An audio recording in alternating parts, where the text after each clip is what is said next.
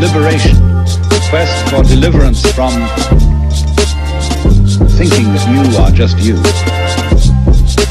and re- realizing after all who you are. We are all entranced, we are all spellbound, under the influence of a certain kind of thinking, which makes us just like hypnotized chickens with their noses to a white chalk line. and They can't get off. So in the same way, that white chalk line corresponds to the ego. Each one of us thinks, I am I. We've been told so. We've been educated that way from childhood. So we think, I am I.